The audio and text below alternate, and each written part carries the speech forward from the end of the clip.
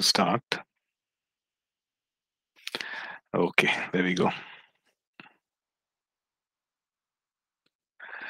Okay, just reading from uh, Hebrews 4 and verse um, verse 12. Right. Uh, For the word of God is living and powerful and sharper than any two-edged sword, piercing even to the division of soul and spirit, and of joints and marrow, uh, and is a discerner of the thoughts and intents of the heart. Okay, so the word of God, living, powerful, sharp. So, uh, uh, the, so many qualities mentioned there, and we um, and we see that um, you know we have this great treasure that has been given to us, uh, the word of God, and uh, with a purpose, and the purpose being that we um, refer to it in the sense we make it our reference point. Um, we also make it, um, you know, something that we that is our constant nourishment, uh, everyday nourishment. Uh, we love the Word of God, which is living, powerful, and sharp, to um, to renew our thinking, renew us, to change us from the inside out, uh, to strengthen us, um, and completely, you know, give over ourselves to this Word, um, so that whatever we do, you know, it is centered around the Word of God. It is centered when we we live our lives, our, our choices, our thoughts, everything. You know, if it's around the Word of God, so we can be sure that it's anchored in God, because this is these are His words, these are His thoughts, um, and uh, we are in really in a safe place when we do that, right? And and more so when it comes to our you know ministering preaching teaching everything so yeah so just wanted to remind us of that because the word of god is living and powerful and sharp sharper than any two-edged sword um, piercing even to the division of soul and spirit meaning that you know many times we cannot discern what is of the soul and uh, what is of the spirit everything seems so similar right um, so everything seems the same like is it my own emotion, emotions or is it something that the Holy Spirit is, uh, you know, directing me in the Spirit. Uh, it seems so similar, but then what will what is the differentiation? Like what is this something that is sharper, um, even to the point of dividing between the soul and the spirit? It is the Word of God, right? So let's pray and just say, God, you know, I need more of Your Word. I need um, You, Spirit of God, to write Your Word upon my heart and uh, teach me, right? I want to live, not just hear your word, but I want to live by your word, do your word, right? Okay, let's pray. Father, we, we just want to thank you for your word. We thank you that um, your word is life giving, life producing. Your word creates Lord, your word, um, Lord, dispels darkness. It illuminates our understanding. Lord, your word drives away everything that is of the darkness. Your word, Lord, uh, quickened by the Spirit, is a sword, as a weapon, oh God. And Lord, your word is so powerful. And we choose to, Lord, uh, speak your word. We choose to, Lord, hide your word in our hearts, God. Intentionally give ourselves, oh God, uh, to your word. Not just read it, but meditate on it, Lord. Confess it and and give place to your word in the first place and the and uh, the preeminent place for your word in our lives, Lord. We choose to do that, God. We thank you. In Jesus' matchless name, we pray. Amen. Amen. Um, you know, also reminded of uh, Paul's in instruction to Timothy. Um, you know, when he when he says, um, um, you know, First Timothy chapter four, uh, and he says uh, in verse twelve, right? Let no one despise your youth, but be an example, etc. And then verse thirteen, he says, "Till I give, till I come, give attention to reading, to exhortation, to doctrine." Okay? And then it goes on to verse 15 meditate on these things you know think deeply about these things think about these things over and over again about what?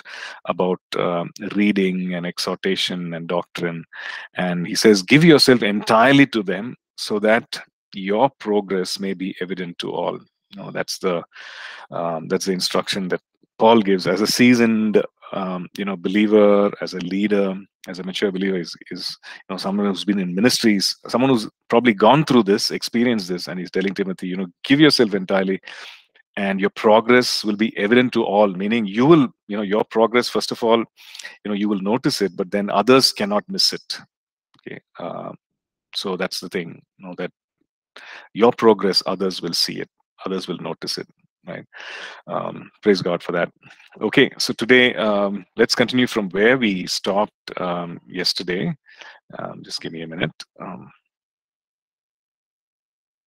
okay so yesterday we looked at uh, we just reviewed hermeneutics right? So the importance of interpreting scripture we looked at some of the practical aspects of it. We looked at uh, those six practical rules i think that's where we closed um, interpret in light of the context of the passage. Interpret in light of progressive revelation. Okay understand that there is progressive revelation you know uh, in scripture. And and and what is uh, there prominent in the old dispensation uh, changes in the new dispensation. So be aware of that, right? And inter interpret scripture in harmony with other scripture. Uh, maybe there's something that is unclear in a certain passage, uh, some truth that is highlighted there. Uh, it's, it's, it doesn't seem to be, uh, you know, it seems unclear, but then look at other portions of scripture which talk about the same thing and then you build a doctrine on it uh, not on something that is unclear Okay, and we also saw, uh, you know, the last two things were, um, I think we didn't go into this. So uh, interpret the spirit of the passage and not the letter. What is it? What is it actually saying?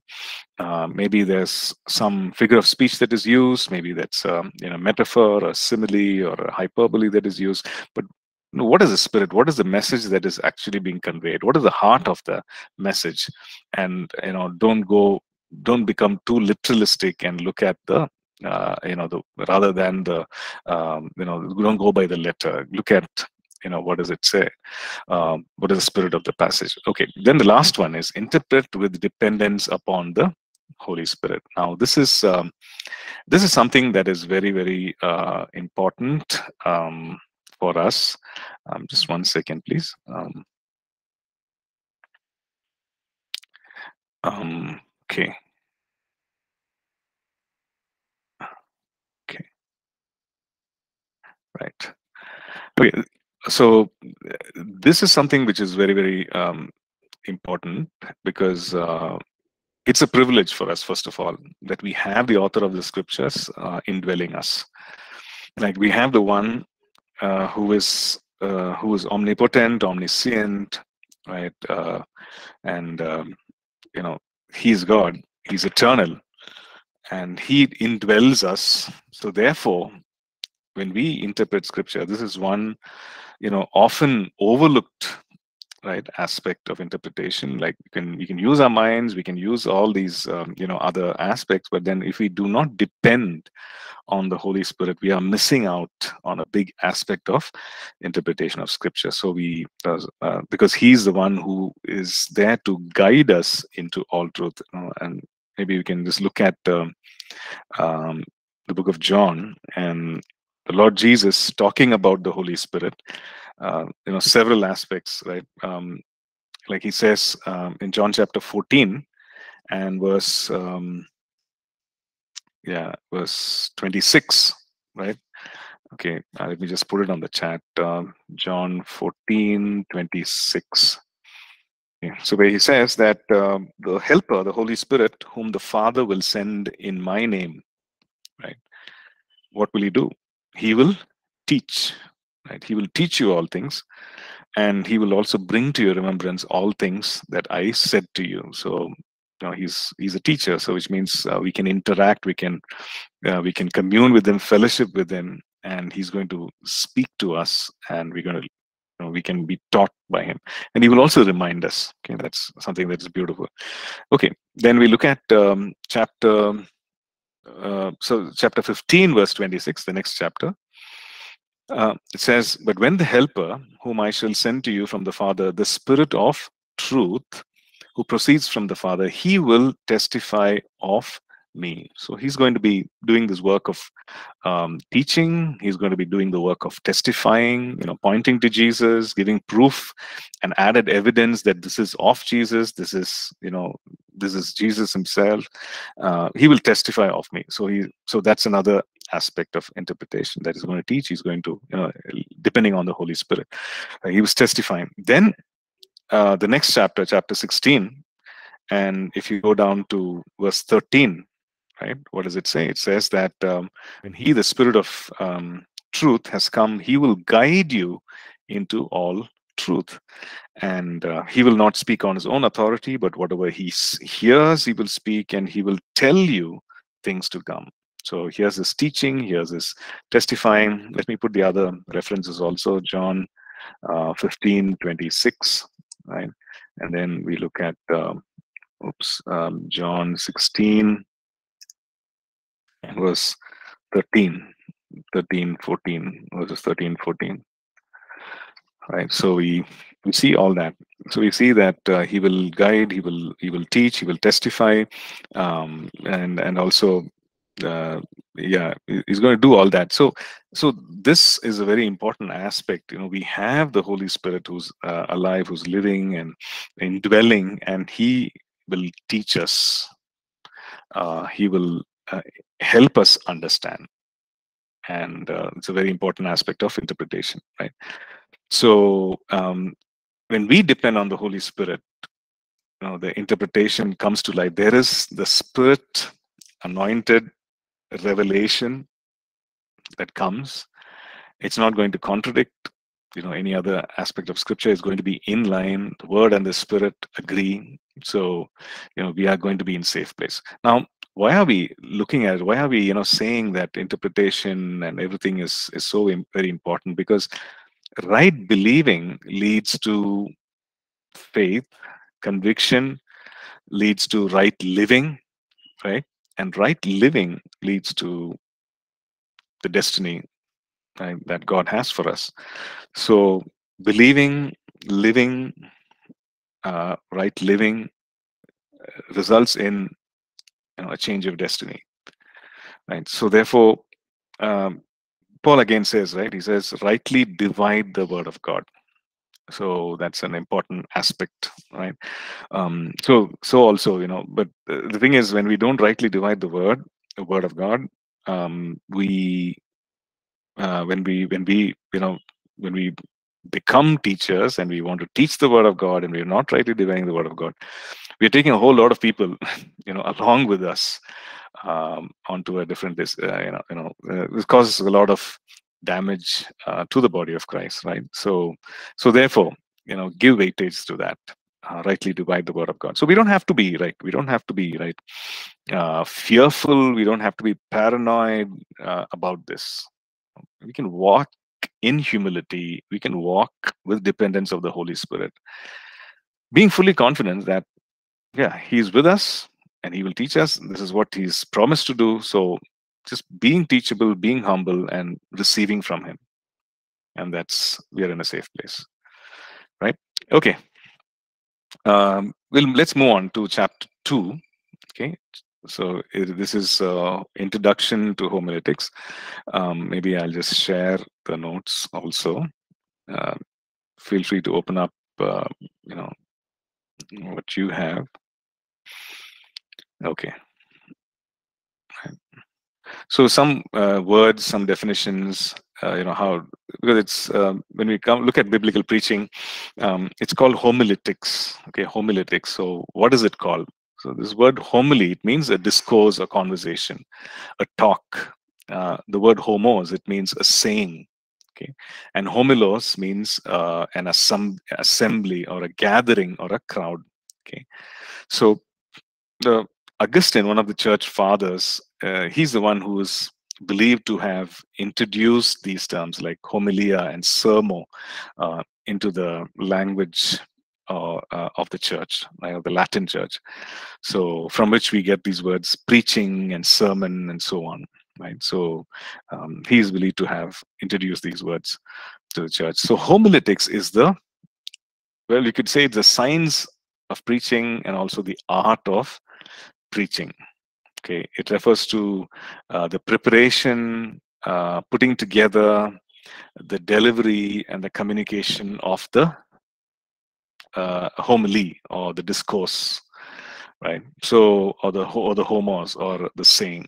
So, um, well, it there's some science to it in the sense, you know, well, it's a practical wisdom. Okay, you're communicating this truth, so might as well put it in a way that people understand. Right? Might as well put it in a way that people are able to receive.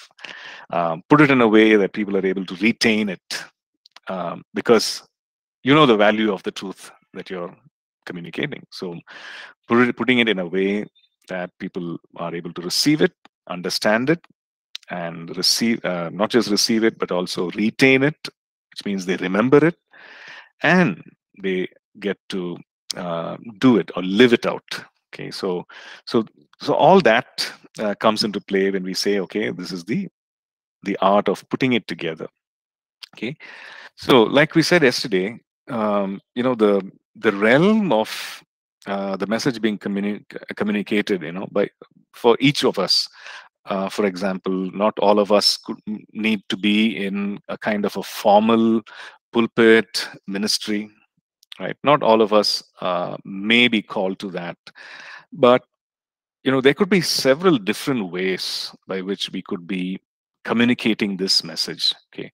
For example it could just be a one-on-one -on -one communication okay? You're having a conversation with a friend and uh, or, or someone an acquaintance or maybe it's a it's a group but then it's just a conversation. And in the course of the conversation um, well there is this need to present the truth right? So there isn't the need to present the message. So of course it will differ. It will not be a very formal thing. It will not involve uh, you know the uh, maybe it's it's very different from a from a from being speaking from a podium okay? So it's just a regular informal conversation. And in the, Duke, in the in the course of the conversation this is being shared so there could be you know a setting like that. Or it could be a kind of a formal semi-formal kind of a setting where maybe it's a life group maybe it's a you know group that is gathering for a bible study and uh, you know there also there is the communication of the of the truth. So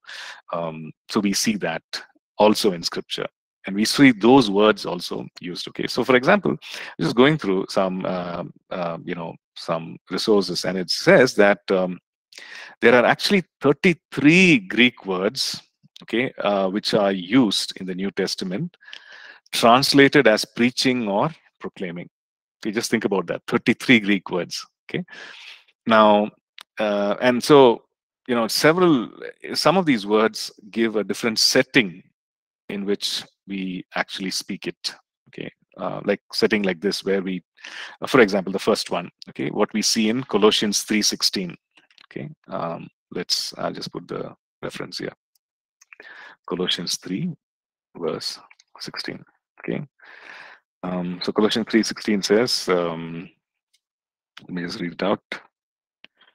Says um, let the word of christ dwell in you richly in all wisdom teaching and admonishing one another in psalms and hymns and spiritual songs, singing with grace in your hearts to the Lord. So he's saying that the word of Christ dwell in you richly. So this, so it, it says, you know, teaching and admonition. So two different words are used.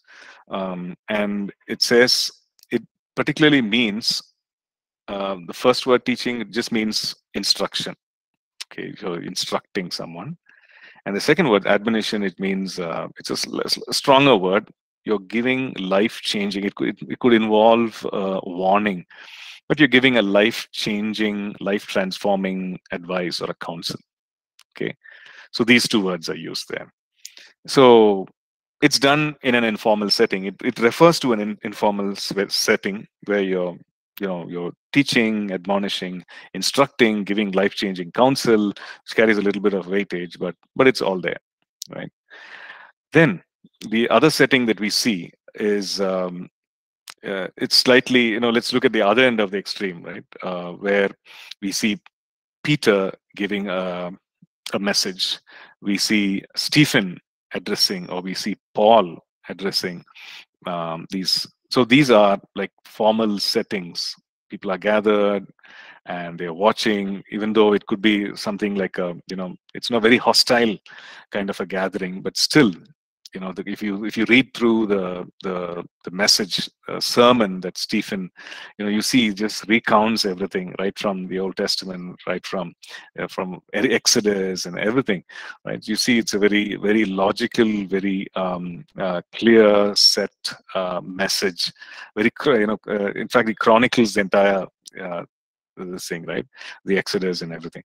So we we see that okay? Or there could be in between where it's a like we said it could be a you know a semi-formal kind of a setting where it's a group that is gathered. Um, so nevertheless in each of these settings we see that there is uh, you know preaching or some uh, if you want to use the word communicating of the truth that is there. Okay? So so when we when we look at that we need to understand that um, some basics about communication right?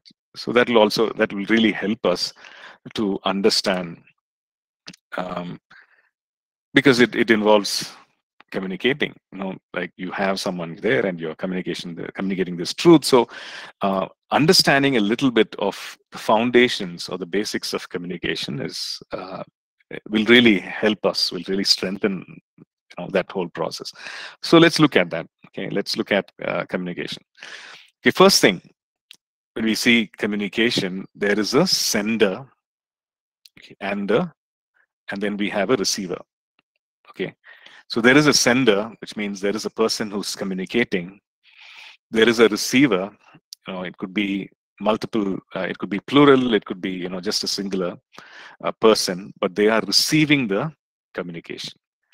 And then the third aspect of uh, the communication is the message itself the message that is being communicated right? So we have those three basic things in communication the sender the receiver and the message.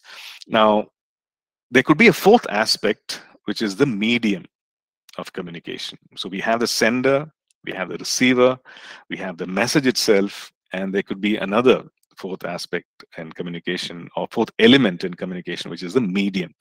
Now in preaching of course we, we are assuming that it's it's the uh, is it's preaching, it's it's verbal, but it need not be so, right? So we looked at different settings in which we are communicating the message. So let's say that we look at the second setting where it's a formal, informal kind of a setting. Now, if you throw in media, okay, if you throw in technology, um, add technology there we see that there are several ways by which we do it you know electronically uh, maybe it's an email maybe it's a blog maybe it's a website maybe it's uh, you know something else. So, so uh, some, some other social media like um, so there also we see that you know there is communication that's happening okay? And so we need to in today you know today's um, time and season we need to factor that also. That's a very important factor uh, when it comes which can actually break or make communication very effective but, but it can distort communication also Okay. Okay. So um, at any of these levels, communication can break down. Okay. So maybe you're a sender. So if you're not effectively sending the message, um, then you know there is a breakdown in communication. I don't know if you played the game Chinese Whispers, right? So everybody sits around and then somebody starts somebody whispers something some message and you're supposed to pass it on to the next person pass it on to the next person and so on. By the by the time it reaches the last person uh, well if somebody actually intentionally changed the message you know and it's all faithfully passed on the end of the you know the end of the message is totally different from how it was passed on. And i saw another variation of it probably you have also on uh, it was you know a video that was being passed on where it was not a message but it was an action right you've seen that? Yeah. Okay so the person actually turns around the first person turns around does an action. Everybody's facing this direction you know probably if we're in in-person class we could have tried that. You know you're all facing one direction right? And then the first person turns around and does an action and turns back. So the second person, only the one person has seen it. So the second person turns to the third person, does that action and turns back. Okay, so and so on. So this action is passed on. Now the thing is, how I perceive that action is totally, totally different. Okay, this in this video that I saw, it was about a person starting a bike. Okay, so this person does the throttle and does the kick of the bike, and then he, you know, just goes like that, riding the bike. But by the time the end, you know, because each person is perceiving it little differently and also passing on that message a little differently. So by the time it goes, it it almost looks like a dance. That person is doing something like that, and uh, it's it's it's you know it's completely totally different.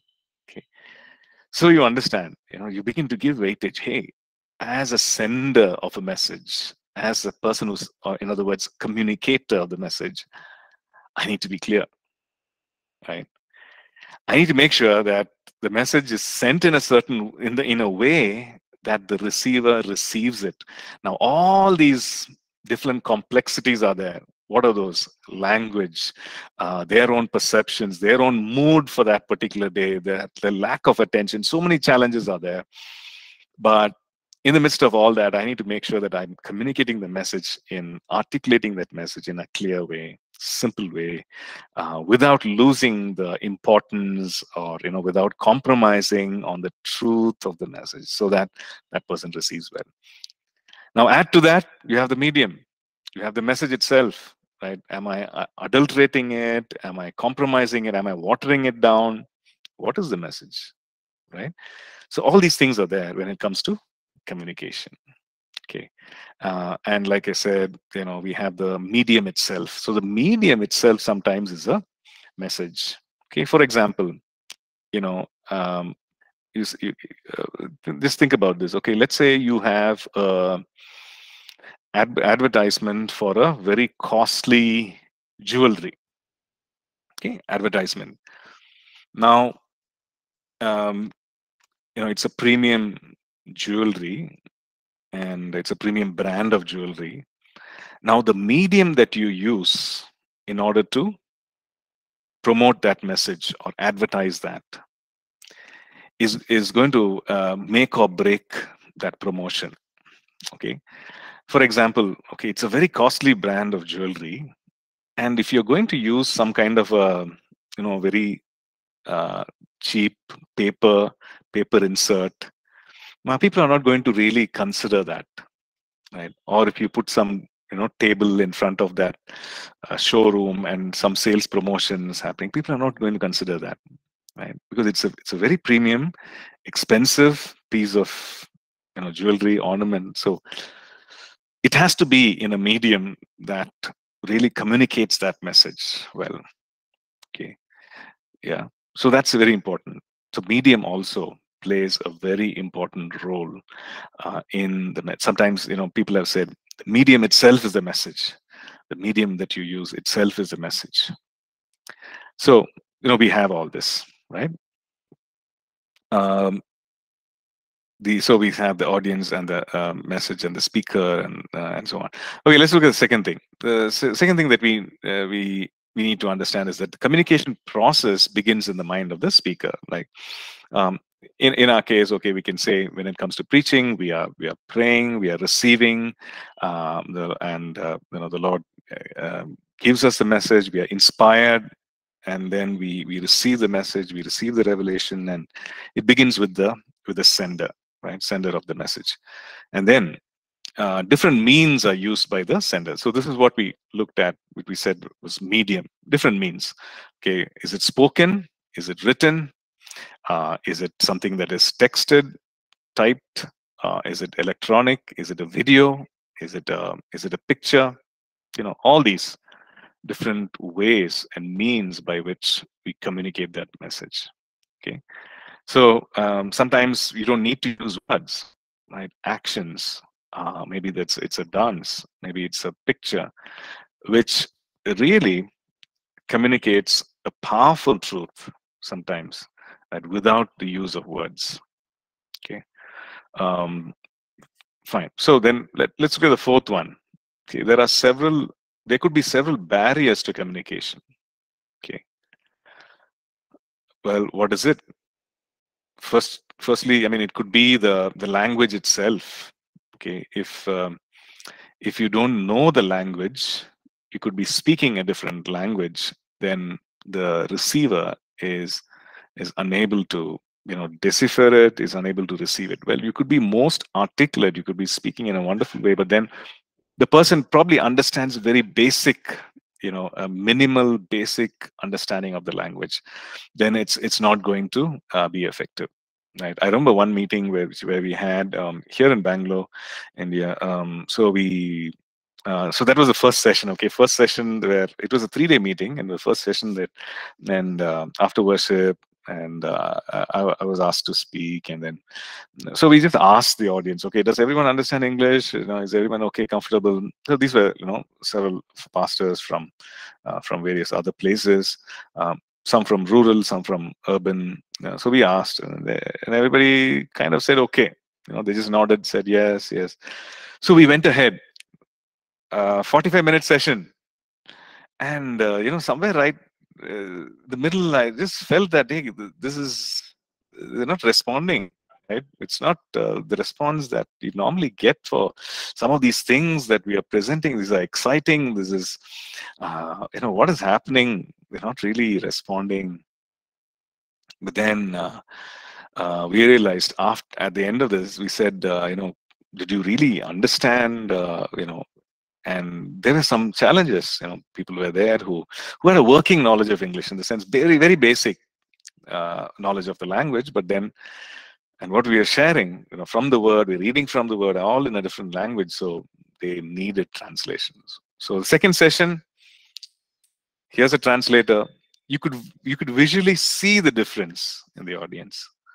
You could see the difference you know they were you know more engaging more interested uh, more attentive.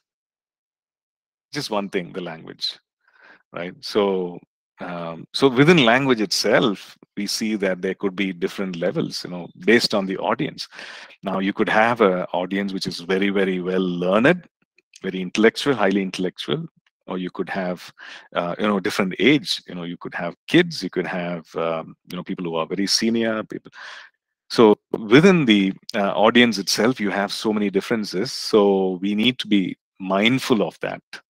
Okay, so that's um, that's a thing. You know, when, I use a language, when I use um, you know illustrations, maybe or the kind of language that I use um, within a you know even though it could be a language that people know, um, but the way in which I use it, well, the illustrations which I use if it doesn't make sense, if you're not able to relate to it, then you're not able to receive the message, right? Okay, so sometimes it could be uh, it could be something tech, technical, like if I'm using a, a, microphone, or it could be something like that. Where, whereas you know level of volume, level of volume, if it's too loud, people don't you know people shut off. You know it's like grating on your mind. You know it's like too loud it's almost at a point of pain and you don't want to you just want to get away from it. You, you just if it's too soft right you are straining to listen. You're straining to hear okay what is it? I, I didn't get that. And and and if it's going to be let's say a long session and if you're battling this constantly you will lose the train of thought right? And you don't want to you're just waiting for it to get over and you're you're like okay whatever. And nowadays anyway since you have your phone you can just very well be scrolling through your phone and just waiting for the session to get over right? But you can have the most wonderful message as a you as a speaker.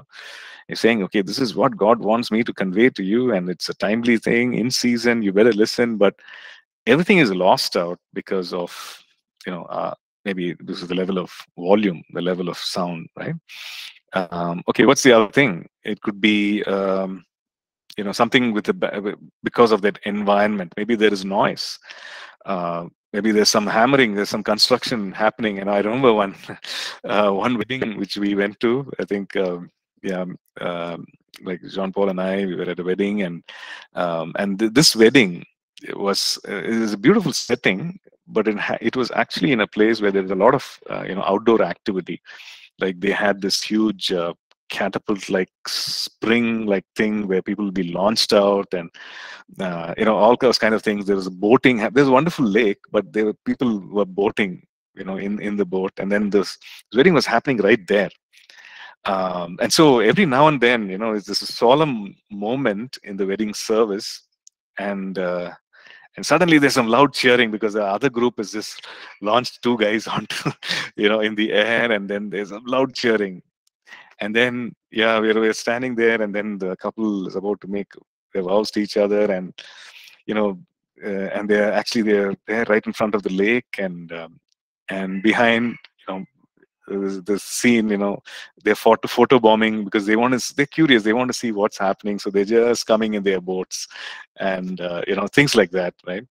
So this it could be a formal setting also where there could be noise. So these are things that to take into consideration right so it could be noise lack of light poor preparation poor delivery well that's that's something on the part of the speaker poor pre preparation. So if as a speaker, if we are not prepared and we are constantly pausing, guessing, oh, what should I say, what should I not say, that interferes with the communication process and also poor delivery. Okay. Now, you know, these are things that we're going to look at uh, when we look at the practical aspect of um, uh, of communicating the message, of speaking the message, right? Uh, of preaching, actually. So we're going to look at that.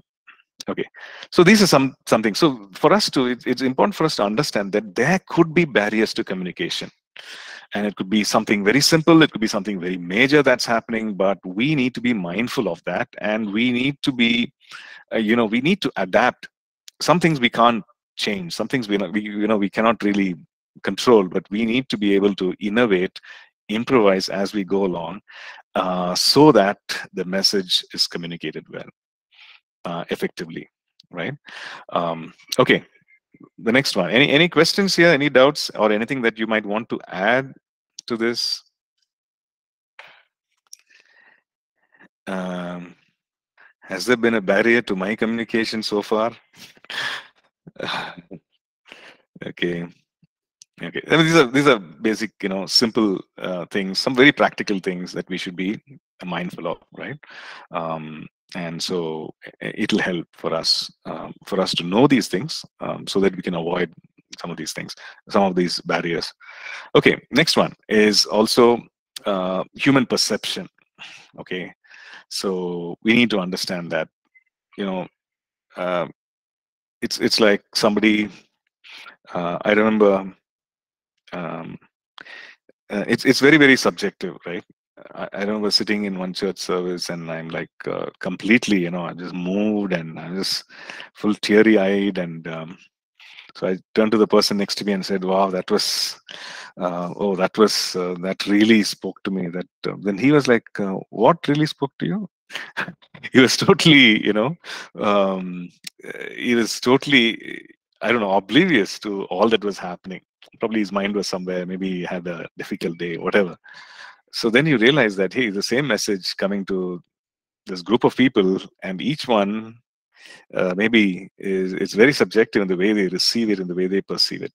Okay so that's another challenge um, but there's something that you can control some things that you cannot okay so john paul is saying intonations okay yeah we'll we'll come to that john intonations meaning your yeah you know the the kind of um, voice you use and how you use your voice, right? Uh, is it the same or do you go up and come down? okay, the, the intonation uh, of your voice um, and the way you speak.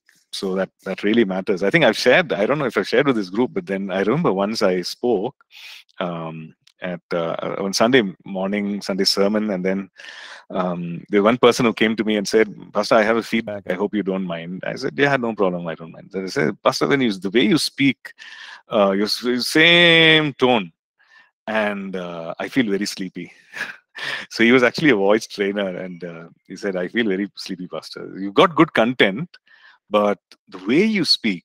You know, there's no change in your, you know, in, in the tone of your voice right and he said uh, i feel very sleepy when you do that so yeah so when you see your congregation nodding off when you see your audience uh, just closing their eyes. You know, you need to change your tone of voice. You know, you need to alternate.